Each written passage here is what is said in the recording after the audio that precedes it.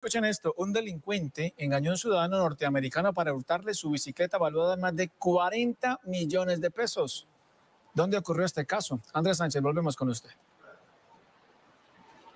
Pues ocurrió a plena luz del día, específicamente en la carrera séptima con calle 111, donde el delincuente a través de engaños logró hurtarle la bicicleta a este ciudadano norteamericano que se encontraba de visita en el territorio nacional. Una bicicleta avaluada en más de 40 millones de pesos y pide a las autoridades que la puedan recuperar lo más pronto posible.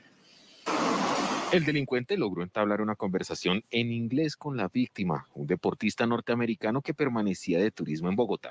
Un señor que estaba vestido completamente como si fuera un buen ciclista, tenía una chaqueta blanca, unos shorts de ciclismo de un equipo profesional, se nos acercó y le empezó a hablar a mi novio en inglés. Mi novio no habla español, él es de Estados Unidos, y el señor empezó a hablarle en inglés y a hacerle conversación, a decirle que podía invitarlo a, a un grupo de ciclistas que hacen salidas en bicicleta por Bogotá y que quería darle más información de estas salidas. Luego de ganarse su confianza, el delincuente a través de engaños le hurtó la bicicleta que la víctima siempre llevaba a cada país que viajaba.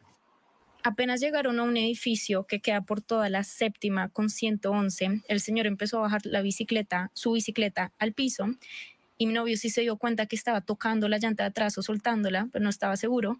Y después de eso, el señor subió e inmediatamente bajó las escaleras que tiene ese edificio y le dijo que alguien ya estaba bajando el papel con información de estas salidas en grupo. El afectado pide a las autoridades identificar al presunto delincuente y recuperar su bicicleta, avaluada en más de 40 millones de pesos.